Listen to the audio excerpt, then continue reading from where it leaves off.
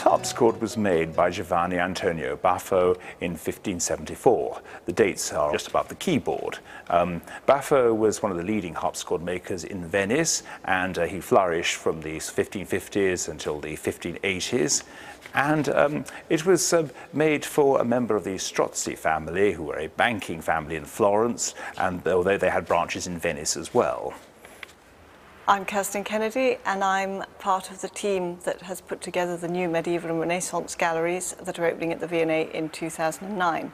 So that means I've helped choose the objects, I've helped select the themes and I've helped develop the uh, computer interactives and the other learning and interpretation activities that are going with the galleries.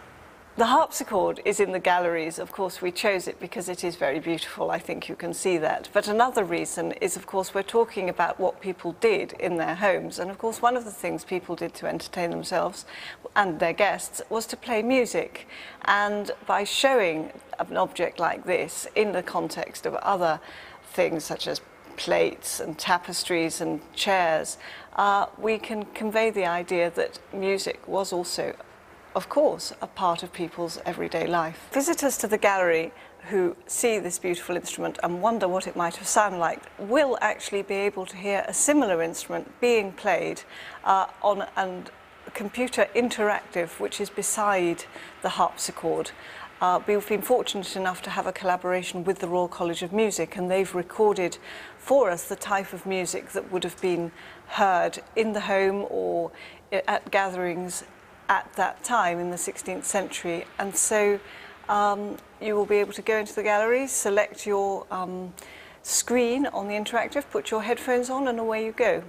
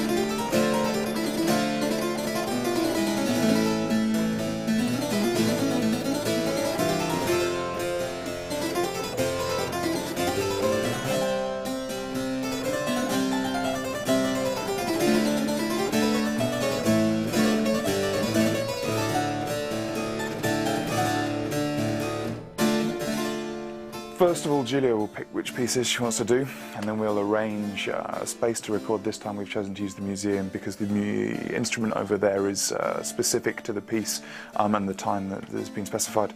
Um, once I've mic'd it up, Julia will come across here, she's going to listen to the sound and we can make sure between us that we're both happy uh, where the mic placement is in the room and uh, how the instrument sounds generally. Uh, once we've establish a sound and we're happy with that, we'll start doing takes as we refer to them. Um, so we'll do a number of different recordings, sometimes of different sections of the piece, sometimes of the whole piece together.